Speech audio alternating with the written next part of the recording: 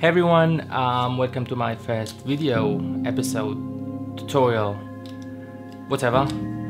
Um, today I'm gonna show you how to shoot this very delicious and cinematic b-roll. My name is Yasser and stay tuned and let's get started.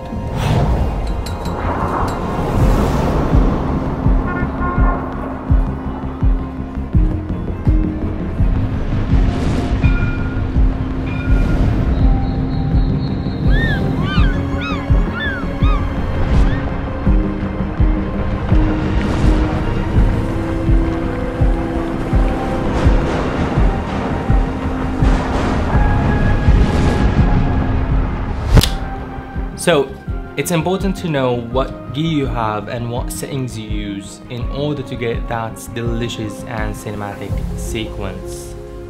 In this video I used the Sigma 24-35mm lens along with the 85mm lens.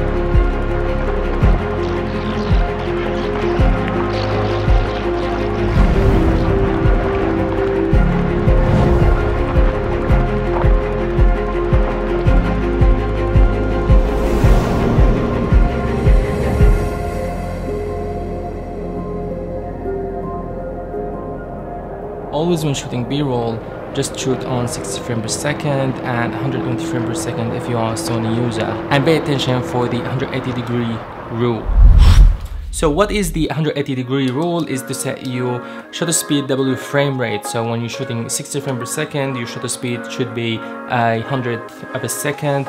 When shooting 120 frames per second, your shutter speed should be a 20 40th of a second and so on and so forth. That's important don't know that, okay? Yeah, just, just get back the video. Shoot with a variety of camera movements, panning, parallaxing, swiping up, swiping down. This is, gives you a um, in-camera transitions, so rather than using a presets or plugins, this gives you a more natural look in B-rolling. And timing is important. Shoot in the sunset, sunrise, golden hour, blue hour, log profile. Okay so use log profile uh, to give you more dynamic range. So choose an interesting place. If it was boring just make it interesting and that's what b-roll is. Last but not least choose wisely and carefully the music. I'm saying wisely and carefully because the music is 90% of your storytelling Hope you guys enjoyed the video and if so hit that like button and leave me a comment down below and see you guys next time. No, this is what I called a very delicious and cinematic sequence. See you guys next time.